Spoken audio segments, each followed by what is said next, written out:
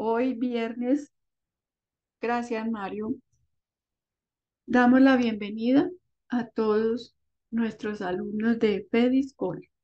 Están invitados a esta clase de humanismo todos los ciclos, todos los ciclos los días viernes a las seis de la tarde.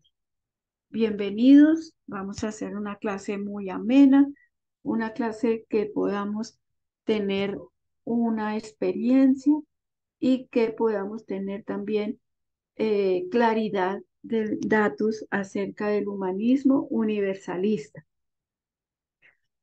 Esta clase de los viernes la vamos a dividir en dos partes, bien sencilla.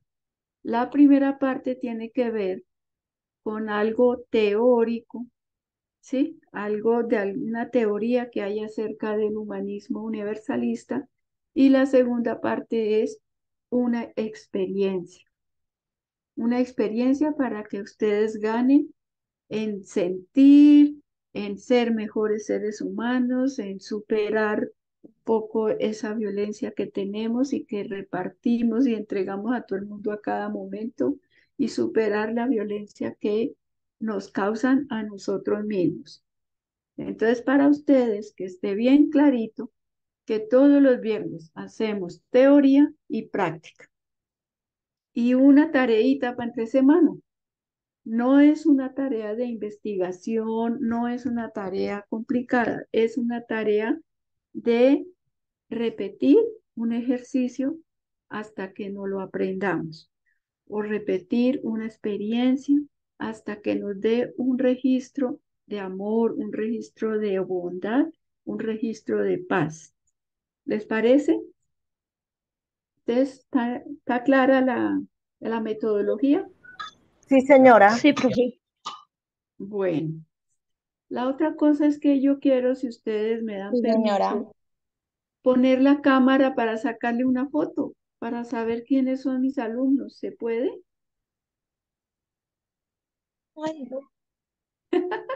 Bueno, profe. Pues son 31, no importa que la abran todos, pero el que no quiera no hay ningún problema. Eso. profe, discúlpeme, hasta ahorita me conecté. No hay problema, hasta ahorita empezamos, ¿ok? Me encantaría eh, poder tomar una fotico y, y por un WhatsApp yo se la envío al profesor Mario y que sepamos quiénes somos los que quieran, ¿cierto? De todos modos, perdón, Cecilia, eh, yo estoy colocando en el chat el vínculo para la, el formulario de, ah, de los estudiantes en el chat. Llenan, el, el, el, formulario y ahí pueden, pues aquí llevamos el, la, la, orden de la asistencia. Ahí en el chat. Gracias. Ok. Bueno, entonces. Buenas tardes. Vamos a volver a hacer una pequeña síntesis. Todos los... ¿Quién me habla por ahí? Juan Antonio. Hola, Marco Antonio.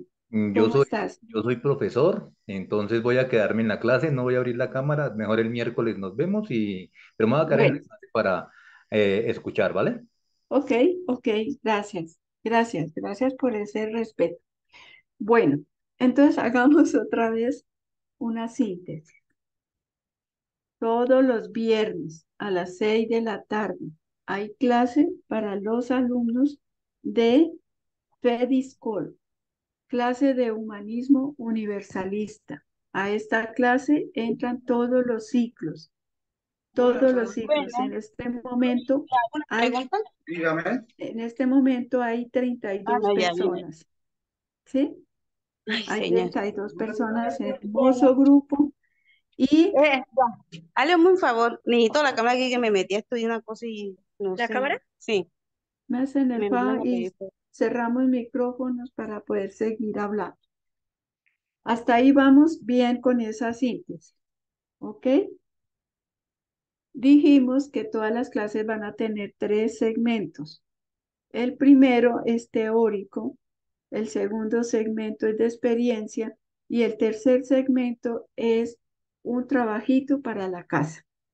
Hasta ahí vamos bien les pedí el favor de que pusieran la cámara para sacar una foto. Qué belleza para tenerla. No más. Así que si no quieren, no hay ningún problema. Y otro punto importante, ustedes van ahí al chat. En este momento hay 10 personas que han escrito en el chat. Y allí hay un formulario de asistencia. Ese formulario lo tienen que llenar ustedes. Vamos a tomarnos cinco minuticos. Esta clase es de, todo es de claridad. Tomémonos cinco minutos, abremos el chat y llenemos el formulario de asistencia, por favor. El chat está en el menú en la parte de abajo. Ahí hay una... Vamos a ver qué es lo que hay. ¿Una qué? Hay un, un cuadrito blanco que dice chat.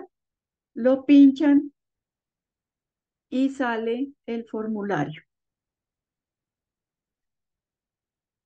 ¿Ok? Profe, pero usted dónde lo mandas? ¿Dónde lo mandará usted? Está en el chat. Espérate En el chat del grupo de... de aquí, desde el Zoom. Espérate a ver si puedo. Acá. Yo les estoy compartiendo. Ah, no, no, salió eso.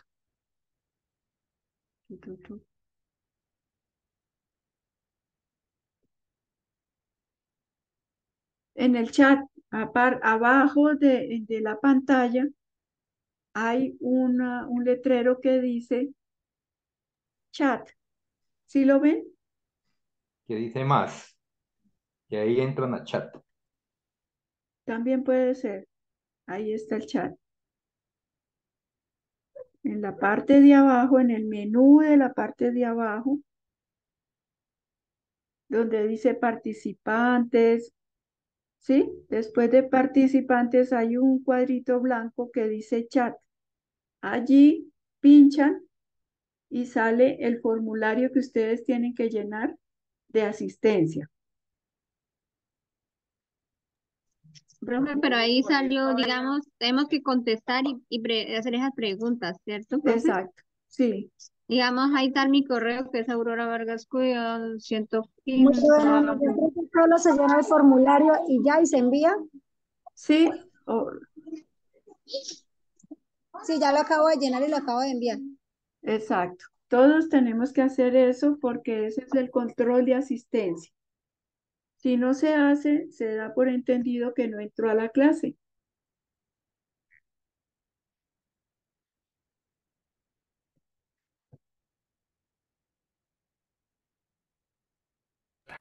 Disculpe, profe, ese formulario es solo únicamente los datos personales, no más, ¿no?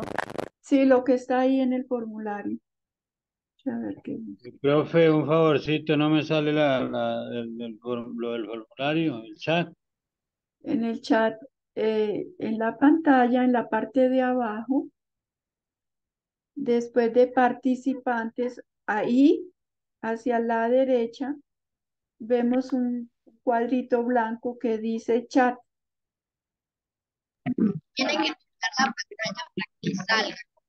La pantalla tiene que ser grande. Sí, señora, gracias.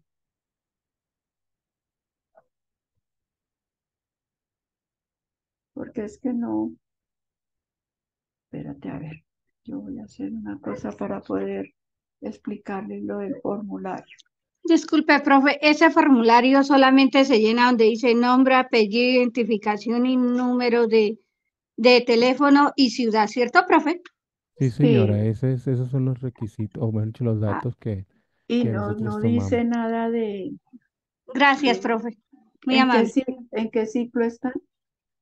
No, porque igual No, no, profe, están, no dice nada de ciclo. No, pero sí, están invitados acá a esta clase. de residencia y ahí termina. Sí, son esos cuatro, cua- esos cuatro cuadritos. bueno. Profe, ¿y hay uno cómo hace para enviarlo? ¿Cuánto encuentro de gastos? ¿Cómo lo envían, Mario? ¿Lo dejan ahí? Compañera, ahí hay una partecita donde dice enviar.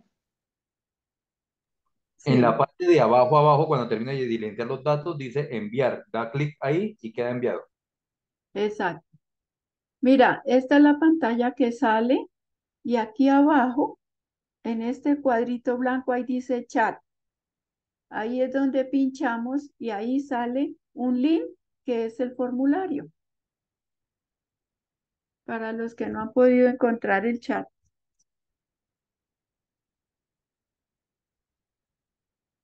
¿Cuántos han llenado ya el formulario?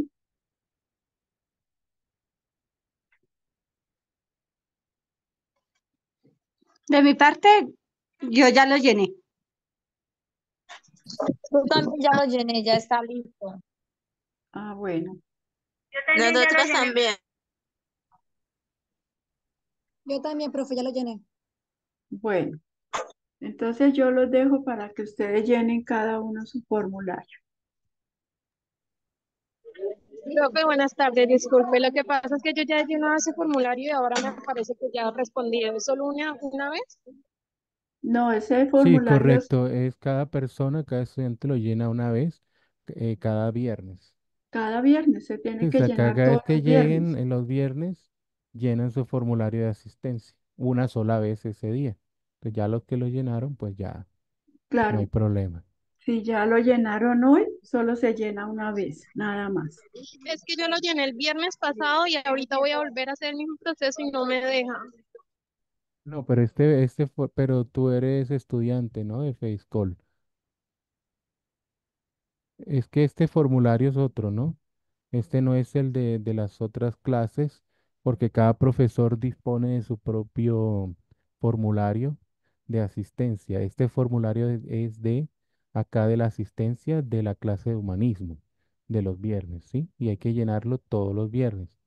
El, formulario cada vez va a ser nuevo, se renueva la dirección y, es, este es el que le colocamos los viernes, que está la profesora Cecilia conmigo acá y cada profesor les eh, compartirá su propio formulario, ¿sí? O sea, lo que dice el profesor Mario es que todos los viernes tenemos que llenar un formulario de asistencia, una sola vez ese viernes, ¿sí? Los otros formularios que ustedes llenen con las otras materias tienen que ver con sus profesores directamente de esa materia. Este que estamos llenando hoy es solo de humanismo universalista. ¿Ok? Sí, sí. Yo en la clase pasada no pude llenarlo, no pude enviarlo, pero en esta ocasión sí le agarré el Bueno. hilo. Ya envié.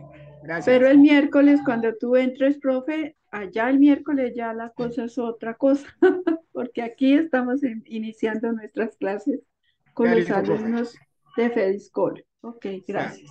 me adapto. Perfecto. Bueno, entonces vamos a empezar con un, un ejercicio.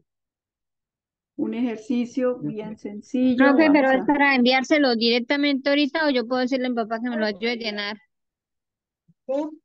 Lo importante es que guardes la dirección, ¿no? Eh, si al- lo importante es que guardes el vínculo para el formulario. Si lo quieres llenar más tarde, no habría problema. Si necesitas ayuda, ¿sí? Ahora Eh, cómo hago para guardarlo? Pero entonces ingresa, que te abra una, si estás en un celular, que te abra una, una ventana aparte y lo dejas abierto. Y cuando llegue la persona que te va a ayudar, lo, lo llenas con esa persona. Lo dejas abierto en una ventana aparte. Puede pegar.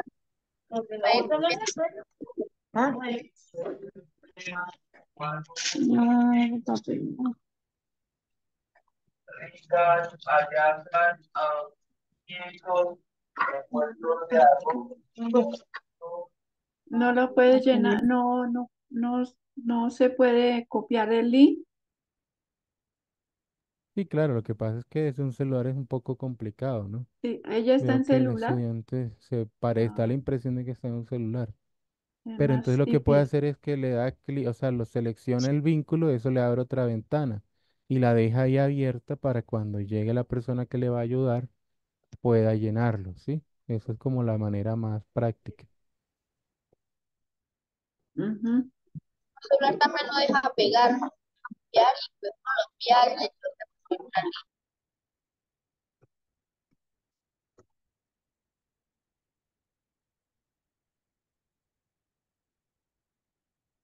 ¿Cómo vamos?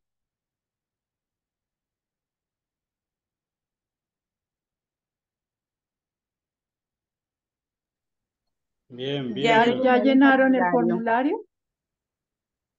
Sí, Yo ya señora, ya yo lo llené. Yo ya lo llené, profesora. Bueno, Entonces, entonces, a mí me aparece que ya lo realicé, pero hoy no lo he hecho. El viernes pasado sí. bueno, yo creo que el profe Mario ahí se da cuenta qué es lo que faltó, cómo fue. No, lo que pasa es que hay, Costa eh, de Buena Esperanza. ¿cómo?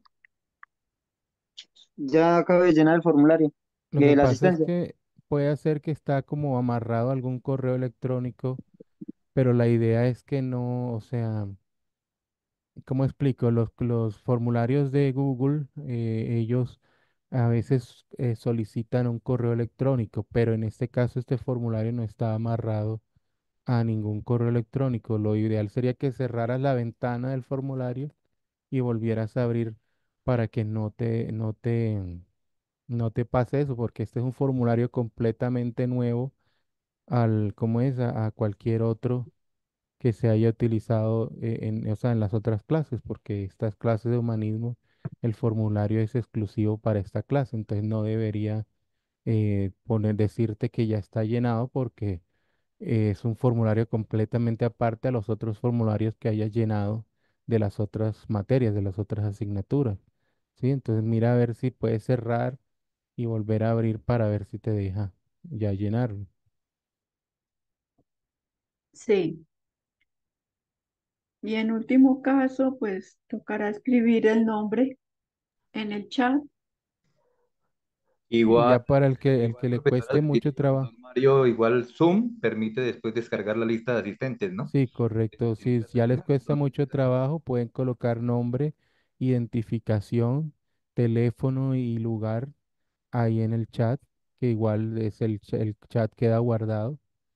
Y, y cómo es, y por decir la señorita Jessica Quintero dice, ah, no me deja llenarlo, entonces coloca su nombre, su, su número de identificación, su teléfono y su lugar de residencia, lo coloca ahí en el chat para que quede eso guardado igual. Ya entonces después nosotros su- co- tomamos esa información y la subimos al formulario para crear el Excel. Entonces esa es una, una opción también. Sí, por ahora. Entonces, profe Sí, Cecilia, por- por favor, continúe para ajá, porque son inicio. 41 personas, entonces en ese chat debería haber 41 formularios llenos. O en su defecto, copiar, escribir ahí en el chat su número de teléfono, su cédula y su dirección donde vive. ¿Ok? Bueno, vamos a empezar un... Bueno, eso es apenas lógico porque este es el primer día de clase y así son las cosas siempre. Entonces, hablemos un poco de qué creen ustedes que es el humanismo.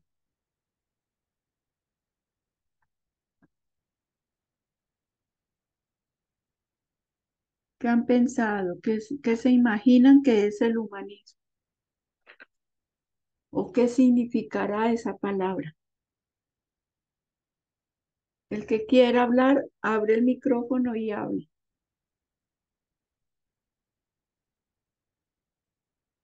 Muchachos, El humanismo debe ser una persona que sea humanitaria, que sea eh, comprensible a otra persona, sea eh, es que escucharlo hablar, hablarle, escucharlo hablar y dependiendo de las cosas, pues tratar de, de conciliar las cosas Listo, profe, ya lo, ya, ya lo mandé. gracias. Escuchar, conciliar. ¿Qué más? Buenas- ¿Qué más sería buenas el humanismo? Buenas noches, profe. Buenas noches, Pues profe. yo tengo entendido que el humanismo es como saber tratar a las personas y no creerse uno más que los otros. Les Ujú. digo yo. Sí, Gracias. también. Gracias. ¿Qué más?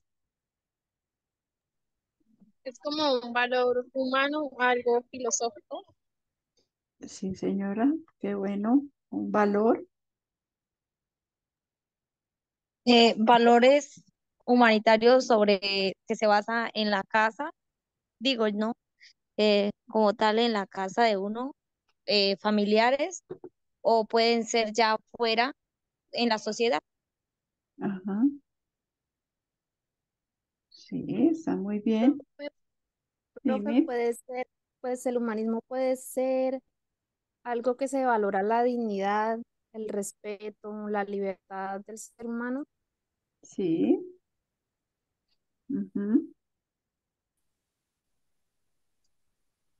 ¿Qué más?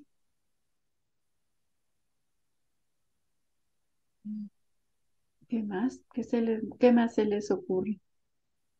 Profe, buenas noches. Eh, Buenas noches. precisamente, pues, eh, la palabra lo dice, ¿no? Humanista. Eh, eso significa eh, ser un buen ser humano, que se ponga en los zapatos de la otra persona, que eh, sienta muchas veces el dolor de la otra persona, porque nosotros como madres cuidadoras de personas con con discapacidad, eh, muchas veces nos encontramos con la indolencia de, de muchos funcionarios, empezando pues por la EPS, ¿no? Eh, muchas veces hay compañeras que eh, dejan los niños solos para irse a hacer un trámite y, y hay funcionarios, empezando por el vigilante, o sea, uno se encuentra con personas tan inhumanas que uno dice, Dios mío, o sea, y no puede creer, o sea, que existan personas así que no se conduelen con el dolor ajeno. Entonces, para mí eso sería una, el humanismo. Exacto, gracias, Miriam. ¿Qué más sería?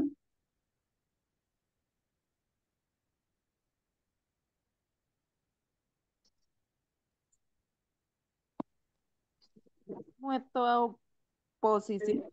Profe, es algo que siente la otra persona o, o cuando uno siente por la familia. Sí. Digamos, eso es el urbanismo, digamos, lo que uno siente, lo que uno puede trapitarle a la otra persona. Sí, lo que uno puede tras, tras, transferirle al otro. Ajá. ¿Qué más? Bueno, miren todo ese montón de cosas que han salido. Eso es muy importante. ¿Algún otro aporte?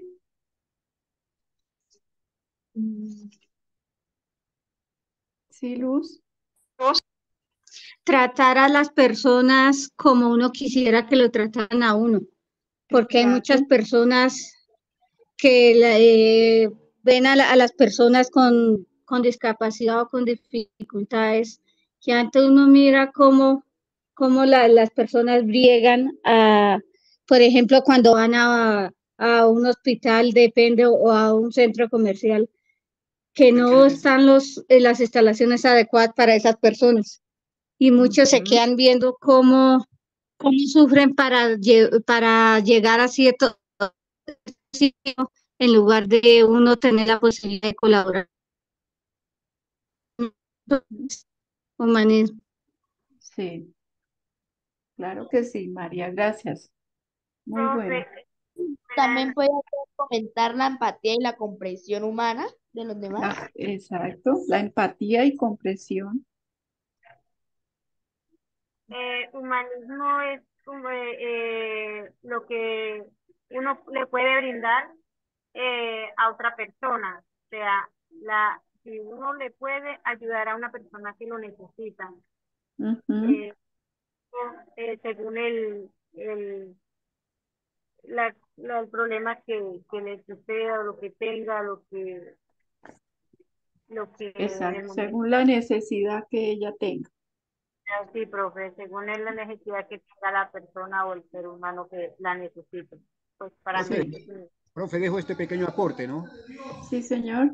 Eh, pues teniendo en cuenta eh, eh, la estructura de, de- del vocablo humanismo, eh, siempre creo que hace referencia pues, al ser humano, que es el eje central del el estudio y de lo que se mueve alrededor nuestro.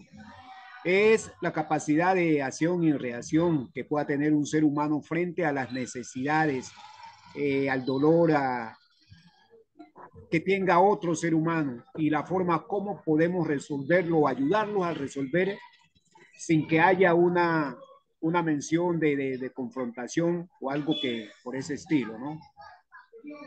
Gracias, profe. Gracias. Profe, de paso le pido un permiso a usted y a los compañeros de que me cedan humildemente un permiso para retirarme un momentito. Claro, sí, señor. Nos vemos el miércoles. Sí, señora, gracias. Dios le pague. Bueno, gracias. Chao, Eh, chao. profe, profe, el, Dime. humani- el humanismo, un ejemplo, pues, del el significado de la libre expresión. Sí, sí, Silvestre. La libre expresión. Ajá. Es algo, algo que me quedó de una clase de humanismo que tuvimos en el, en el ciclo pasado. Entonces no tenía Ah, bueno. La libertad, la libertad. de expresión. Ajá. Bueno, Ok. profe, Gracias. Bueno, miren todo lo que salió. Voy a decir. Dice, eh, estaríamos hablando de el ser humano como valor central, porque todo lo que han dicho ustedes se reduce a que el ser humano es el valor central frente a todas las situaciones en las que estamos viviendo a nivel social. Es importante darnos cuenta que el único ser vivo que ha armado una estructura social como la nuestra es el ser humano. Bueno, ustedes me pueden decir, pues las hormigas tienen una estructura social, pero hay una gran diferencia. El ser humano siempre arma su propia historia. El ser humano es histórico, lo que quiere decir que el humanismo es un ser humano que vive en el mundo creando la historia, su propia historia. Hace siglos el ser humano eh, empieza a tratar y a manejar el fuego. Y desde allí, cuando ya podía coger el fuego y lo podía producir y lo podía transformar, desde allí empieza el ser humano a transformar su medio inmediato. Y entonces transforma la comunicación, transforma la forma como uno se comporta con el otro y con uno mismo. El humanismo realmente es hacia uno y hacia los otros. Entonces, haciendo una reducción de todo lo que ustedes han explicado que está perfecto, es una forma de vida. El humanismo es una forma de estar en el mundo con las otras personas y conmigo mismo. El humanismo invita a que uno se trate con respeto, que uno se trate con bondad, con paz, con alegría, con fuerza y que sea capaz de distinguir entre la violencia y la no violencia. También el humanismo propone que tú te des cuenta de la violencia que ejerces en otros, la violencia que uno le ejerce al hermano, que uno le ejerce a sus padres, al jefe, al vecino, todo eso que a mí me hacen también, también yo a veces le hago a otro ser humano. Entonces, el humanismo busca que nosotros podamos comunicarnos con los otros y con uno mismo con esas características de paz, de fuerza, de bondad, de buen trato, de respeto. ¿Y por qué hablamos de eso? Porque realmente el ser humano, si se trata de una forma violenta, él está terminando con su propia forma de estar. Está terminando con su forma de ubicar la felicidad. Cuando el ser humano se trata violentamente, está causando sufrimiento. Entonces, el humanismo presenta la oportunidad o invita a todos los seres humanos a que superemos el dolor y el sufrimiento. La base, la columna vertebral del, del humanismo universalista es la superación del dolor y del sufrimiento. Nosotros sabemos qué es el dolor, ¿cierto? Cuando a uno le duele algo, ¿dónde lo siente? Donde uno tenga. ¿En el cuerpo? En el cuerpo. Entonces, cuando hay dolor, uno siente en el cuerpo, así sea interna o externa. Le duele a uno una muela o le duele el estómago o le duele un golpe que me han dado y tengo un ojo así hinchado morado. Entonces, nosotros hablamos de ese dolor. El dolor físico se puede superar porque tú te pones unos pañitos, ¿cierto? O te tomas un, un medicamento que te ha dado tu doctor y pasa el dolor, o le hacen un tratamiento que se le parte un brazo y le hacen una tablilla y un yeso y va superando ese dolor. Pero si nosotros nos vamos al otro lado del dolor, que es el sufrimiento, ¿cómo es eso del sufrimiento? ¿Cómo se imaginan ustedes? Porque sea como sea, nosotros hemos sufrido y sabemos del sufrimiento, pero ¿cómo es el sufrimiento? Depende, profe, también el sufrimiento y el dolor del corazón por un mal amor que lo haya dejado uno. O sea, hay muchas clases de, de sufrimiento y sentimiento. Exactamente. Hay También hay una sufrimiento cosa muy importante. Hay sufrimientos también terminales de alguna enfermedad. Eso no sufre uno, sufre la familia, ese es otro sufrimiento. Exacto. ¿Son Tenemos, los emocionales? emociones. Dime, Fernanda. Y los mismos, eh, a veces, profe, lo- los, em- los, los sufrimientos también nos traen emociones. Exactamente. Los sufrimientos son emociones, emociones dolorosas, emociones negativas, emociones que, que lo hacen sentir a uno cada vez peor. Entonces, eso es, ese, el dolor es físico. Te duele la panza, te duele que te dieron un puño, te duele la muela. Pero el sufrimiento Dolor en el alma.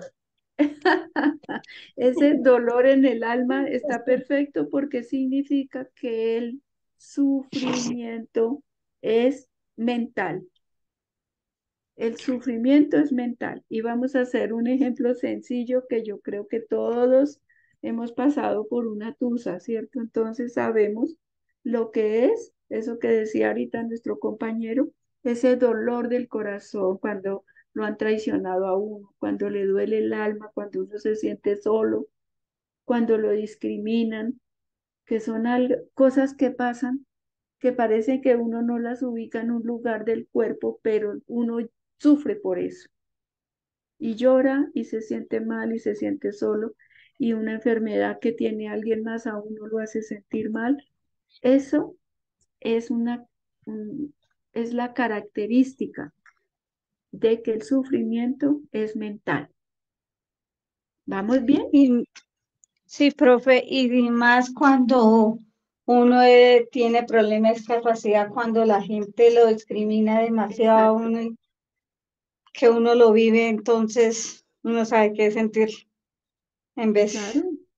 Uno sabe qué es la discriminación, qué es el vacío, qué es el abandono, qué es la soledad.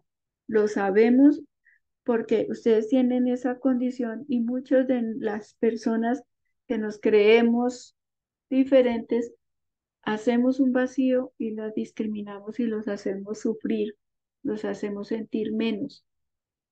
Bueno, ese también es un sufrimiento para esas personas, porque tarde que temprano esas personas van a darse cuenta que han maltratado a otro ser humano. Dime, Fernanda. A veces a uno también como cuidador, a veces uno va con esas personas y las personas también se quedan mirándolo a uno como un bicho raro, como, no, no sé, lo vas a Sí. Me ha pasado más de muchísimas veces, y más en los centros comerciales. Exacto. Sabes salir la gente lo queda mirando a uno y el niño se en, de silla de ruedas, entonces pues a veces ni siquiera son capaces de colaborarles a uno, sino que lo quedan mirando es como un bicho raro, más en las escaleras, en cualquier no. Claro, claro, pero eso tiene que ver con el, con otra clase de sufrimiento, porque ustedes sienten ese, ese, esa discriminación, pero esa otra persona tiene un sufrimiento que se llama egoísmo, creerse mejor que el otro. Eso es un sufrimiento para esa otra persona. Ellos también sufren a pesar de que se creen sanos y salvos, digamos. Y sí, es una, una forma de, de, de sufrimiento. El aislarse, el discriminar a otra persona por su condición, por lo que sea, y uno no ser capaz de acercársele, como decimos nosotros los humanistas, de humano a humano. Porque este cuerpito es una caparazón, es, es simplemente el motor para poder movernos en el mundo. Pero lo humano es lo que está más profundo, incluso de esa persona que tiene problemas de movimiento y de esa persona que puede ser un gran deportista y están en condiciones físicas diferentes, pero internamente son seres humanos. Y esos dos seres humanos igualmente tienen dolor físico, igualmente tienen dolor, eh, perdón, sufrimiento mental. Entonces, a veces uno dice, yo tengo una discapacidad o tengo una situación diferente y creo que soy yo sola, pero resulta que ahí al frente hay otra persona que tú la ves que pareciera como perfecta, pero en su profundo esa persona también sufre. Entonces, cuando uno dice ponerse en los zapatos del otro, por acá alguien dijo, ponerse en los zapatos del otro significa se- conectarse con lo humano que tiene el otro y que es igual al humano que yo tengo. Es interesante, es interesante como darse cuenta que sí, uno sufre, pero que el que está al frente de nosotros, discriminándonos o tratándonos mal, también sufre. Claro, Entonces, profe, profe, yo también sufrí mucho, perdóname, también sufrí mucho por el racismo, eh, por decir algo que mis hijos eran, son morenitos y, y a veces llegaban llorando porque mi esposo es moreno y yo soy pues eh, de color. Entonces llegaban llorando que, ay, que mi- mis amigos me dicen que su papá es un negro, que su papá no sé qué, y ellos sufrían mucho por ese tema. Eso sí lo sufrí en carne propia. Sí, así es. Esta, este mundo, este mundo social está tan complicado que se han perdido los valores, se han perdido los principios, se ha perdido el respeto, se ha perdido la oportunidad de contactarnos con el, con lo profundo de cada uno de nosotros, más allá del color, más allá de la religión, más allá de lo político, más allá si tengo un problema o soy, tengo una diferencia en algo. Entonces se ha perdido. Ustedes pueden observar fácilmente que en el mundo entero, ahorita lo único que importa es tener dinero, tener sexo y prestigio. Y los otros seres humanos no me interesan para nada desde que yo pueda progresar, pueda escalar en mi empresa, tenga buen trabajo y si es posible le doy un codazo al, al mi amigo de toda la vida para yo poder seguir escalando. Esto quiere decir que la sociedad a nivel mundial se está desquebrajando en relación a los principios, en relación a ese ser humano, en lo profundo del ser humano.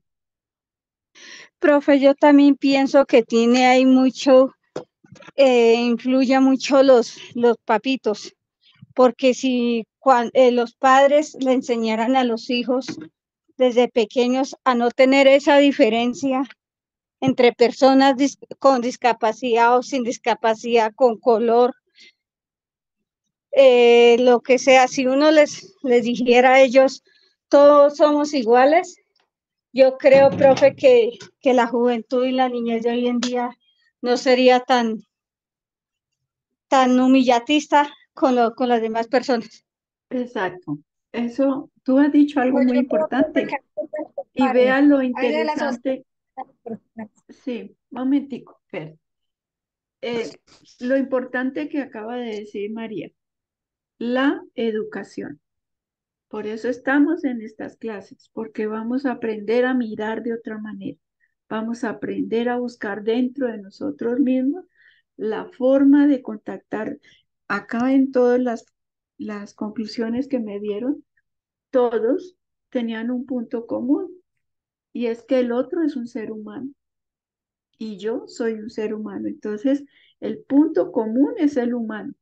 Y el punto que tenemos que aprovechar y estudiar y aprender a ver cómo lo vamos a hacer es lo que dijo la compañera María, la educación.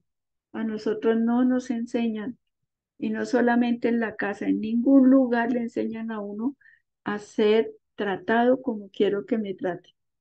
En ningún lugar le enseñan a uno trata a los demás como quiere ser tratado.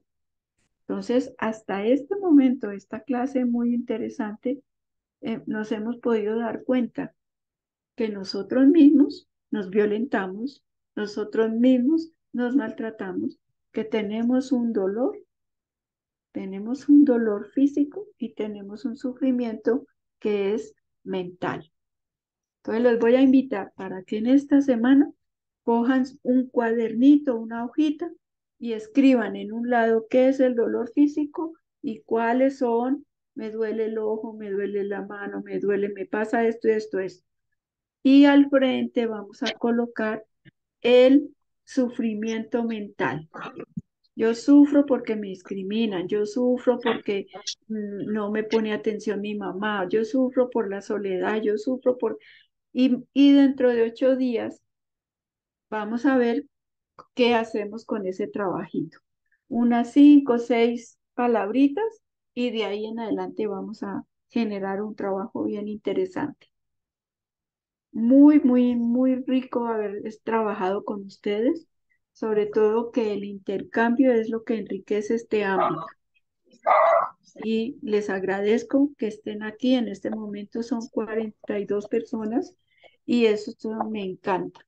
Me encanta que ustedes participen y que yo aprenda de ustedes todo lo que más pueda también. Yo soy la profesora Cecilia, pero ustedes son mis profesores. Así que muchas, gracias, gracias, profe. Nos vemos en ocho días. Bueno, Cuídense profe, Muchas gracias, excelente profe. clase. Igualmente, profe, gracias. Hasta mañana, compañeros.